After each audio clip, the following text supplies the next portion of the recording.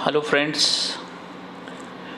आज मैं डॉक्टर हेमंत शर्मा आपको एट ऐसे विटामिन ई रिच फूड्स बताने जा रहा हूँ, जो कि आपकी हेयर ग्रोथ के लिए काफ़ी हेल्दी है।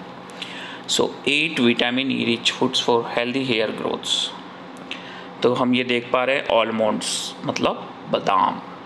Almonds are one of the most advised food by health expert to enhance skin and boost hair growth तो रात को 10 बादाम भिगो दें, सुबह उसका छिलका उतार के खाएँ।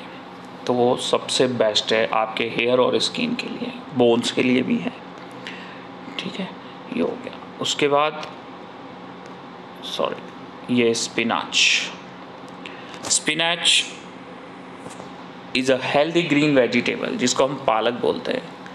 That's loaded with beneficial nutrients like folate, iron, vitamin A and C, all of which are important for hair growth. तो ये जो पालक है वो आपके बालों की ग्रोथ के लिए काफ़ी इम्पोर्टेंट है अब ये है avocados are delicious nutritious and great source of vitamin E तो अगर आप हेयर को नेचुरली यंग रखना चाहते हैं ब्लैक रखना चाहते हैं और हेयर फॉल नहीं हो उससे बचने के लिए अवोकाडोस खाएँ। तो ये डाइट है हेयर हेल्थ को बूस्ट करने के लिए, बालों की health sunflower seeds are big on vitamin E content roasted sunflower seeds can make for a great munching snack to pair with your morning tea तो सुबह की चाय के साथ आप ये सनफ्लावर के बीज जो आते हैं वो खाएँ, ठीक है?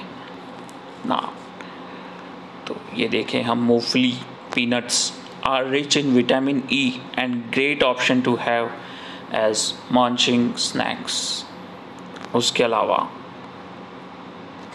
coconut oil contain vitamin E that help soften hair and boost health the hair growth तो नारियल का तेल बालों में भी लगा सकते हैं।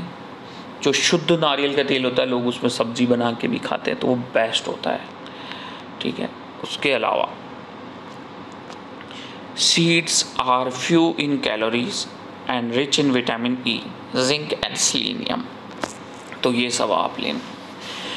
जैसे कि इसमें दिखाया हुआ है तो अगर वीडियो अच्छा लगता है लाइक करें, चैनल पे नए हैं सब्सक्राइब कर लें। Thank you